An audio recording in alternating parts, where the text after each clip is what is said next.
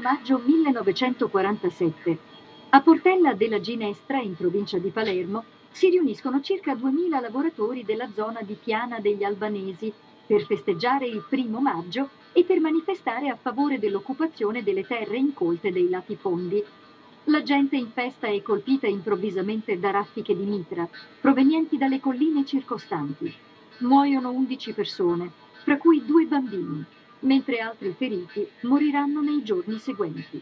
Si scoprirà in seguito che esecutore materiale della strage è stato il bandito Salvatore Giuliano con la sua banda.